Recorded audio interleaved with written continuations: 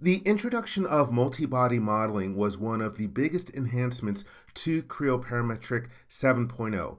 In a previous video, I showed some of the basics of multi-body modeling. In this video, we'll continue the exploration.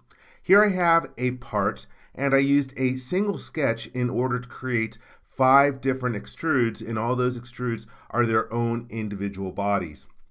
Let me show you some of the effects of creating additional features. Let's say I want to create a hole and I'm going to create a hole in such a way that it is going to potentially intersect multiple bodies. Let's place it on this surface over here.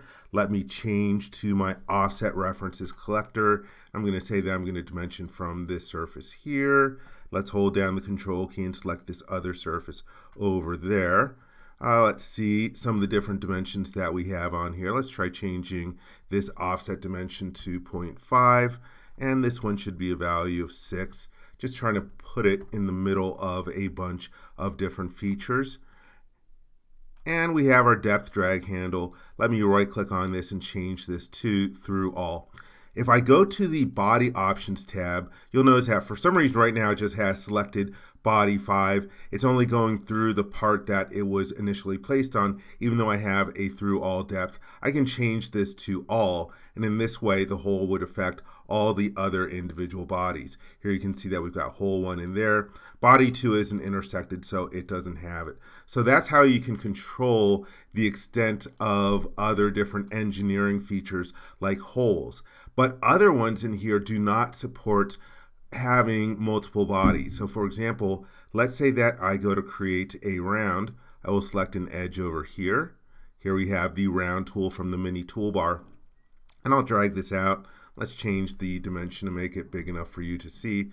There we have our radius on here, but there's nothing in here that allows you to control which bodies it is going to affect. A round is only going to affect the body on which it is placed. Can't have multi-bodies involved in that. So that applies to rounds and chamfers. Next, let's take a look at what's called removing a body. I have body 4 over here. If I click on it from the mini toolbar, I can choose to hide it if I don't want to see it. Let's bring it back for a moment. You also have options to set it as construction so that it won't be contributing to your mass properties. Also, you could use it to filter it out of a bill of materials. But there is another option in here. Actually, before we talk about that one, uh, you also have the ability to delete the body. If I right click on it, uh, sometimes, though, you don't have the ability to delete because there's geometry and features that are contributing to it. So instead of deleting, you can remove the body and that will consume it. So when I choose to remove body, we're going to get a dashboard here for a remove body feature. You'll notice that shows what it's going to remove from here. From the References tab, you can choose additional bodies to remove, but I'm going to click the check mark in order to take it out of here. And now we have that remove body feature, and body 4 no longer appears in the list.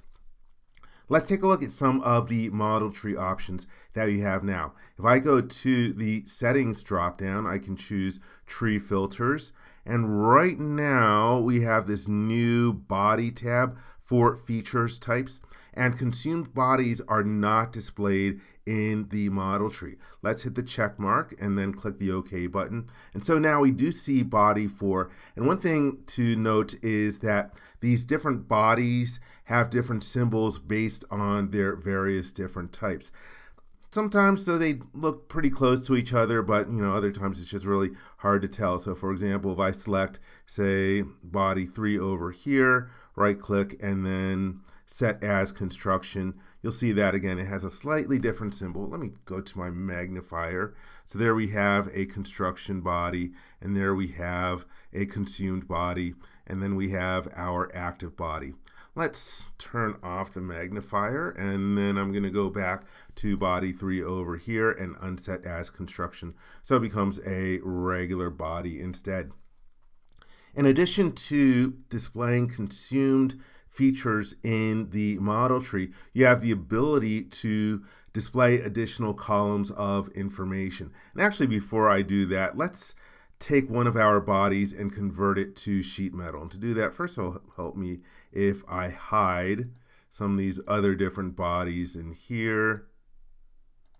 Okay, so this first body I'm going to convert to sheet metal. Let's go to body, right click, and then convert to sheet metal.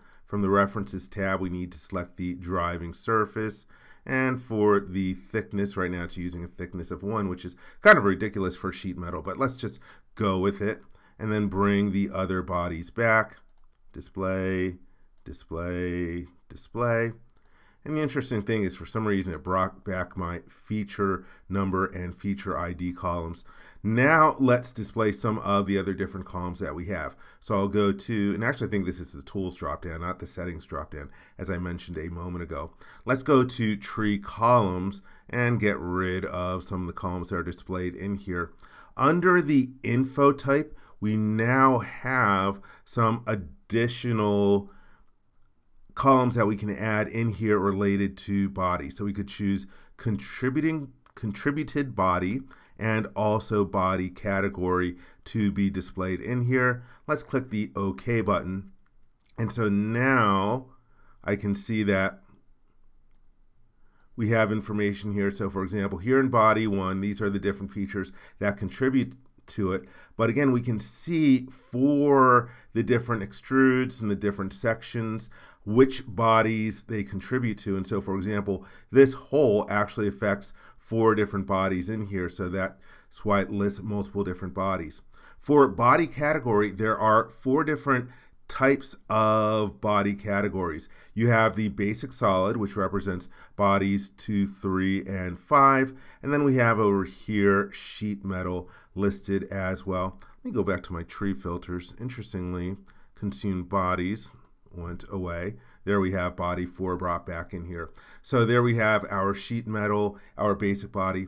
The other two different kinds of body categories that you have are lattice for additive manufacturing and generated for bodies that are created as a result of generative design. So there you have the additional information that you can display inside of here. Now I created a remove body feature and now this is showing up as a consumed body. If I go back to the remove body feature and then right click on it and choose delete and then get rid of that remove body feature, now this is no longer a consumed body. The symbol changed in the bodies folder to indicate it is the same kind of basic solid as the other ones. Next up, let's take a look at three new config.pro options related to multibody. So I'll go to File Options Configuration Editor. Let's click the Find button. The first one I'm going to search on is under a keyword Boolean and hit the Enter key. There's this option, Boolean Default Operation. And the default value is model type. If I go to the drop-down list, you can see that there are four other options for this config.pro option.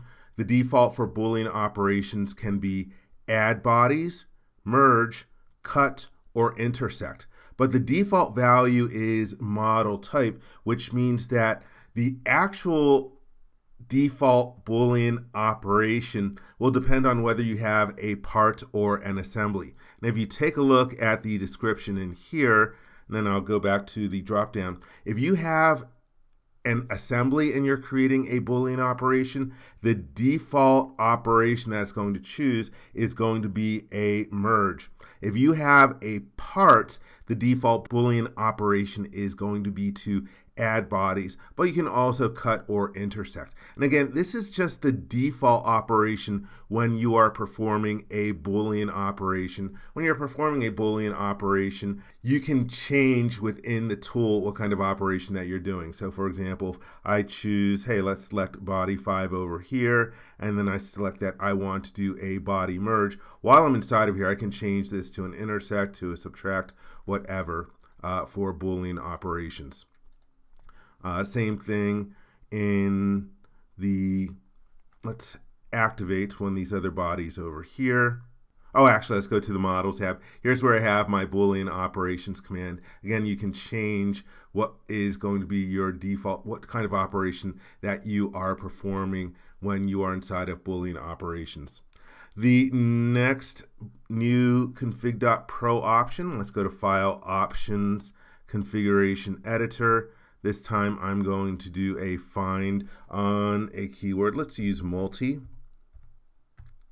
There is an option enable multi-material body. The default value is yes. In other words, each body can have its own individual material, but for whatever reason, if you didn't want that, you could change that option to no so that you could not have different materials for different bodies. And the last option that we will take a look at, let's search on interference. This one is related to visualization. Here we have this new option, HLR, which stands for Hidden Line Removal, Advanced Interference Check for Parts. And what this means is the default value is yes, so it's going to do a better check, a more advanced check, a more accurate check on hidden lines for removal in a part when you are using that display mode. The thing about this option, as it notes in here, is that the default value results in slower performance. So you could turn off this advanced interference check for hidden line removal if you wanted better performance from your computer and updating on the computer screen.